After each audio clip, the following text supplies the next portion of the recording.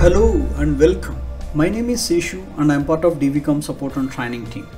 In this lab, I am going to show it to you how to block ICMP and how to allow DNS, HTTP and HTTPS traffic in Sangfor firewall. So if you are following my previous videos, I have shown to you how to configure the zones.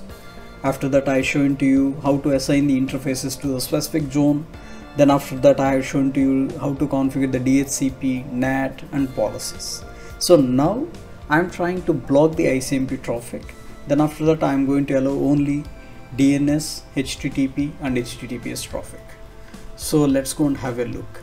So before we jump into the configuration, let's go and see my lab topology. So in my lab topology, we have a NSF 1050 AI, which is the Sangfor firewall. And in my previous videos, I have configured my WAN zone and I have assigned the IP address as 192.168.254.15, which is last 24. And for my LAN zone, I have configured as 192.168. 100.1 and I have enabled the DHCP so through the DHCP I got the IP address as 100.51 okay? So now what I'm trying to do now let's go and uh, open the command prompt. So I think uh, just open the CMD and this is my command prompt and try to ping any of the public DNS server. So type ping 4.2.2 say t. So right now you guys can see here I can able to ping 4.2.2 because I am getting internet access. But I don't want to allow ICMP traffic because usually ICMP is nothing but it does the echo request and echo reply. But I don't want to do any kind of ping because my people who are sitting in my LAN I don't want to allow them to do the ICMP okay? So for that what you need to do you need to access your firewall first. Let's go and access it. Open the browser and that's your firewall. And log in with your username admin and the password. Then click on login. So you need to go to the policies. So as I told you guys to access the internet especially the policies are going to play an important role so without policy you cannot send your traffic to internet.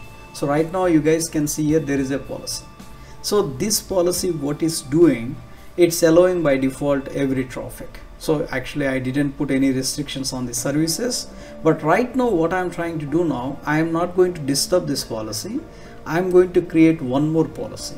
And in that policy I'm going to block the ICMP traffic. So click on the add. Then after that I can say that block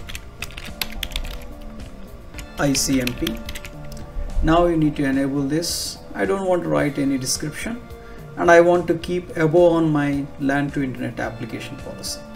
Now the source zone is it's my LAN. Then click on save.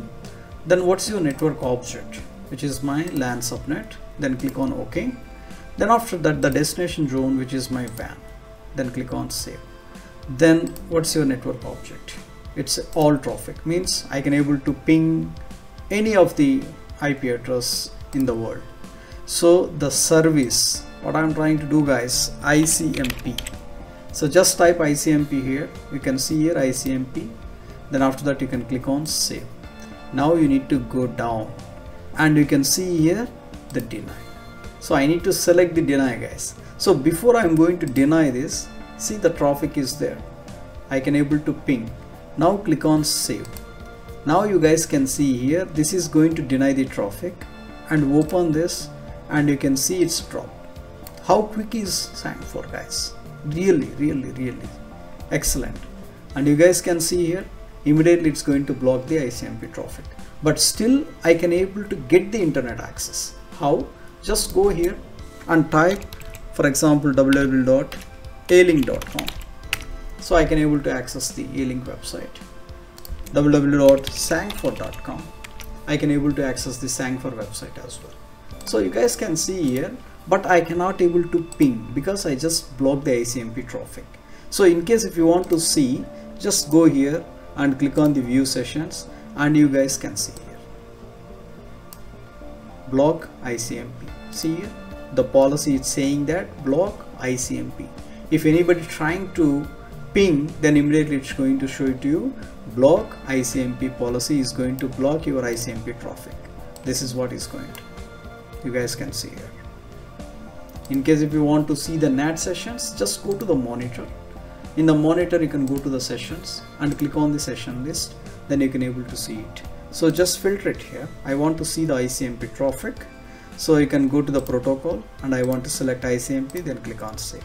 Now you guys can see here block ICMP policy is going to deny the ICMP traffic that's the beauty of this. See the action is deny and it's going to block the ICMP traffic so who is trying? The PC which is trying 100.51 is trying to ping 4.2.2 then ICMP traffic is going to block.